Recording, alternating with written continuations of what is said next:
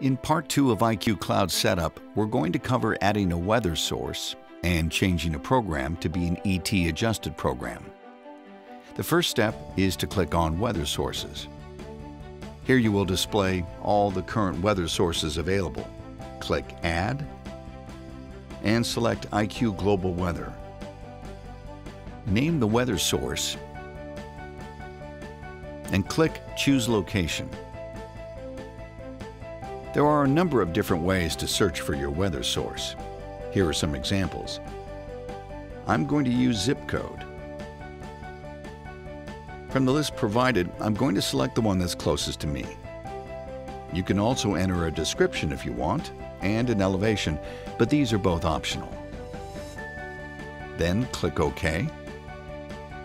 IQ will automatically pull back the last 14 days of weather data. Click OK. And at the top, you can see it pulling the information from our IQ Global Weather Service. We also support Rain Bird weather stations such as WS Pro 2, ProLight, and the CIMIS network for those of you in California. Now IQ will display the ET values by day for the last 14 days and the rainfall. This rainfall can be edited as well by double-clicking on the rain icon. Now that we've added our weather source, we want to change one of our programs to be a weather-adjusted program.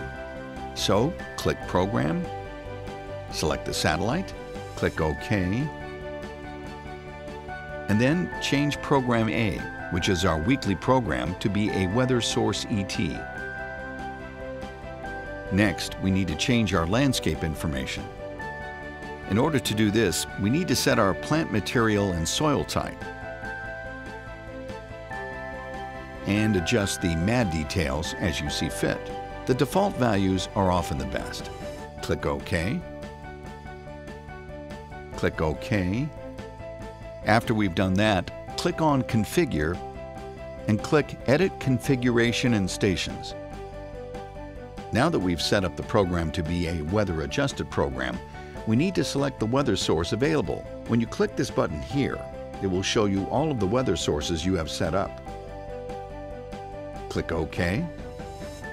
And now click Program. The third component of setting up a weather-based program is your base runtime. Click this box for your base station runtime. A comprehensive library of all Rain Bird irrigation devices are preloaded. We can select our spray nozzles, adjust the pressure, the sprinkler arc, and the radius as well. All of this is driving to a projected runtime. Now click OK. This will adjust and compute your base runtime, and your forecasted runtime will be based off your weather data. Go ahead and click OK.